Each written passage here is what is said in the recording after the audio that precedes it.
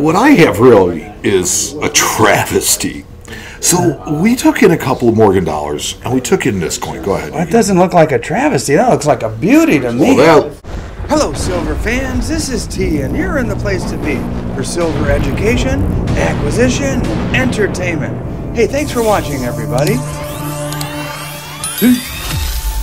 Here we go once again, heading to Chi Town to bring you the absolute best in numismatic video content. I'm heading to Harlan J. Berk once again, and if you enjoy coin shop videos, be sure to subscribe to see more great conversations like this.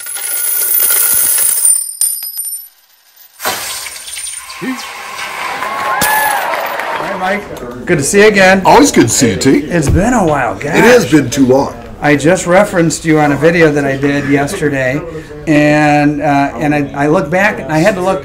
When was the last time Mike and I hung out, talked coins, and made a video? And Too it's- long. It's been forever, man. Yes. So glad to see you here. Yeah, always happy. Appreciate the hospitality. What do you have to show me today? Well, what I have really is a travesty.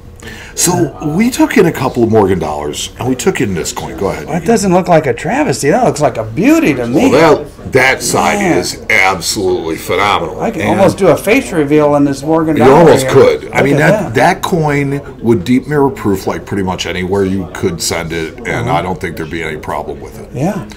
And it's important to know that this happened when they changed out the dies at the mint. So, well, a brand new die will give you a surface like Yeah. this. But here's the thing: is This isn't not. considered actually proof. It's just proof like. It is just proof because they like because to. they were making a circulation coin. Uh-huh.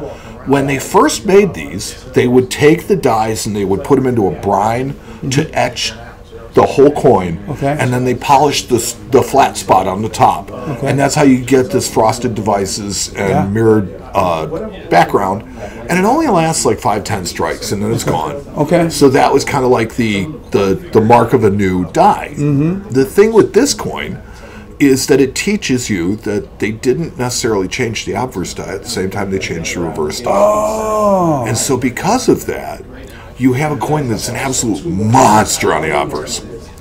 Oh man. And then somebody tried to correct the obverse to uh-huh. make it look like the reverse. So Okay. if if you were to look at this coin, you might be fooled at first until you really look at it and you start to see what the devices look up like on it. But they they've polished this, they have whizzed it. What does and- whiz mean? I've heard that term. I know it's not good. I know No, you're ruining a it's, coin. it's polished with a wire wheel. Wire wheel. With a wire wheel. What, So- that's like 1970s ideas. Oh, I mean, it's before that. okay. So one of the things that Dang. makes this noticeable is if you turn it like almost 90 degrees to a light source, Uh-huh. you'll see like this squiggly line that goes right down the middle of the luster. Okay. Whereas the luster should have a straight line. It should cartwheel. This one bends. Yeah. that's usually your telltale sign that a coin is whizzed. Yeah, this side stunner. You know. And I mean, this side- the coin, even with a regular brilliant obverse, would probably be worth 75, 80, 85 bucks. yeah, it's This like, coin is worth melt. like walking behind a chick that's a 10 and then she turns her head and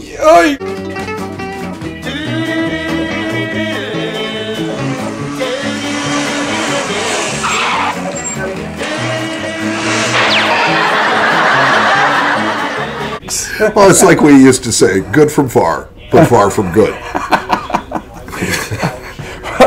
well thanks for showing me that one man oh This coin is going to be absolutely perfect for somebody who's doing an album uh-huh. that you push the coins into, that you want an obverse and a reverse, because there's Oh, a reverse yeah. to put on there. Uh-huh. Or something like that where you're only going to use one side of the coin. okay Because you really, really do not want anybody thinking that you think that this is a good coin. yeah yeah That's a reputation. All right two dollar bill red seals.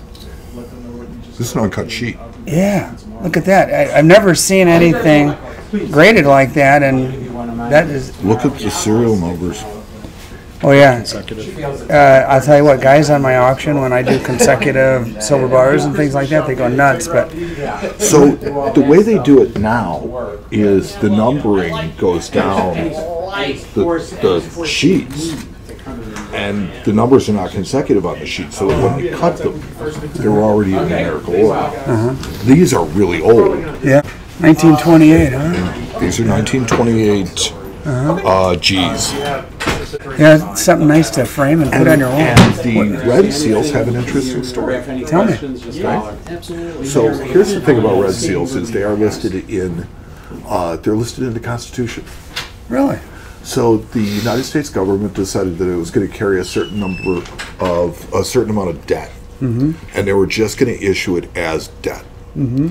The debt that they issued was in the form of United States notes, Okay.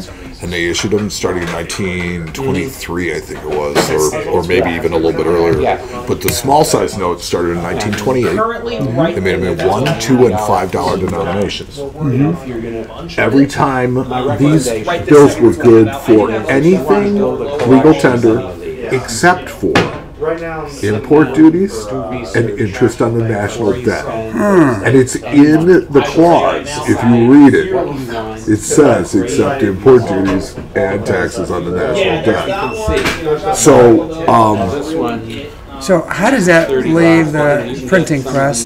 Were those sold as like a novelty or? Um, well, this is 1920s, so there were some things that were going on at the mint that weren't necessarily all that great, and some things that were a little shady. I have a feeling that this is probably from the shadier side, um, because they typically would have cut these bills and issued them. Yeah. Well, I mean, that's what they made them for. They made them for circulation. them out the back door. Yeah. Yeah, so uh, so to have this sheet, what I thought was probably the most interesting part about it is the difference in the way that they numbered these. So these are consecutive going from top to bottom, left to right, Okay. versus a sheet of of current dollar bills which have you know 20 in between each of the of the serial numbers. And then uh, as these were used over the course of the you know 30s, 40s, 50s, uh, they would be replaced every once in a while. But in 1966, they decided that they really didn't want a whole lot of these in circulation anymore. So they they basically started taking them all in, and they reissued them as $100 red seal notes. You aren't going to get very. Well, you got 24 bucks there. What's it worth? Mm-hmm. Um, we are currently asking $2,500 for this sheet. This is certified by PCGS. Yeah, I noticed as that. AU55. Uh-huh. It is absolutely guaranteed uncut sheet.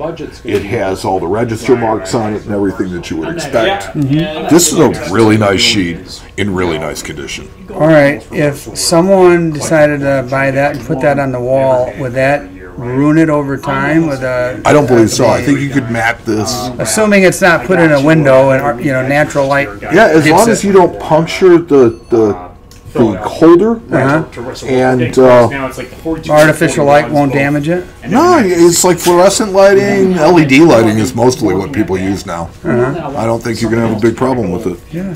Well, thanks for showing me. That's something. I, I tell you what. Every time I come to a coin shop, I see stuff I've never seen before. I can't say I've ever seen a sheet like that. I might just roll with that. Thanks, man. I just saw Special thank you to these channel members who support my efforts to bring you videos just like this one.